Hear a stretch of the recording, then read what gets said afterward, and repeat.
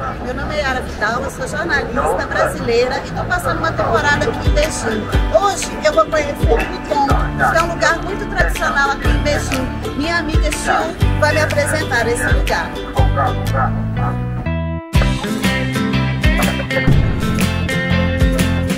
Aqui é a rua principal do Ruton, cheia de lojas onde os turistas vêm, como por exemplo essa daqui, olha, cheia de vestidos chineses.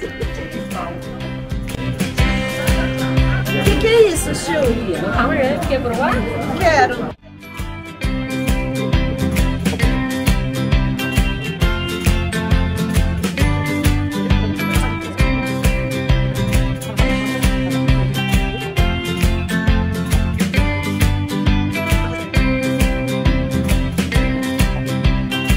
Oh, xexê. Fala xixi, xixi. Missão cumprida. Agora eu não quero comer. É muito bonitinho. O Nanangostian corre de norte a sul, tem cerca de 800 metros de comprimento e oito vielas. Aqui tem também áreas residenciais, mas a gente não tem como entrar. De acordo com as estatísticas, Beijing chegou a ter mais de 6 mil tons.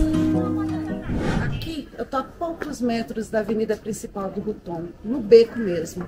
Eu dou, consigo até ouvir passarinhos aqui, no centro de Beijing. Parece que a gente está numa outra época.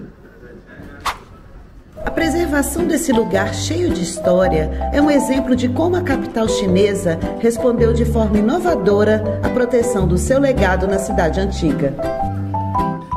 Olha aqui que legal, essas pedras aqui elas devem ter séculos, porque aqui em Beijing o patrimônio cultural é muito bem preservado.